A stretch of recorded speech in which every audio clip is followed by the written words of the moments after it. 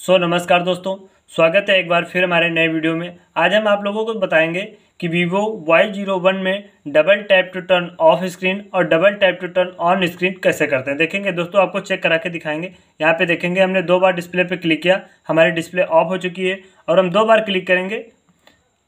ये देखेंगे हमारी डिस्प्ले ऑन भी हो चुकी है। इस तरीके से दोस्तों आप भी अपने वीवो वाई ज़ीरो वन में डिस्प्ले को ऑन ऑफ़ करना चाहते हैं विदाउट पावर बटन के तो देखेंगे दोस्तों किस प्रकार से हम ऑन ऑफ़ करेंगे। तो देखेंगे दोस्तों क्या करना है, पहले हम अपनी सेटिंग को ओपन करेंगे। जब हम सेटिंग को ओपन करेंगे तो हमारे सामने कुछ इस तरीके का इंटरफेस हो जाएगा। यहाँ पे आपको स्क्रॉल डॉल करके नीचे जाना है। यहाँ पे आपको देखने को मिल जाएगा शॉर्टकट एंड एसेसबिलिटी तो आप शॉर्टकट एंड एसेसबिलिटी पे एक बार क्लिक करेंगे। जब आप शॉर्टकट एंड एसेसबिलिटी पर क्लिक करेंगे तो आपके सामने कुछ इस तरीके का इंटरफेस हो जाएगा। यहाँ पे आपको देखने को मिल जाएगा स्मार्ट मोशन तो आप स्मार्ट मोशन पे एक बार क्लिक करेंगे। जब स्मार्ट मोशन पे क्लिक करेंगे तो आपके सामने कुछ इस तरीके का इंटरफेस हो जाएगा। यहाँ पे आपको देखने को मिल जाएगा smart screen on and off तो आप smart screen on and off पे एक बार क्लिक करेंगे।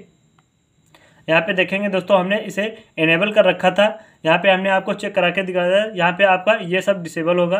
ये आपके दोनों ऑप्शन डिसेबल हो गए। देखेंगे यहाँ पे लिखा है डबल टैप टू लाइट यानी कि हम दो बार जब क्लिक करेंगे तो हमारी डिस्प्ले की लाइट ऑन हो जानी चाहिए। तो हमने इसे ऑन कर दिया।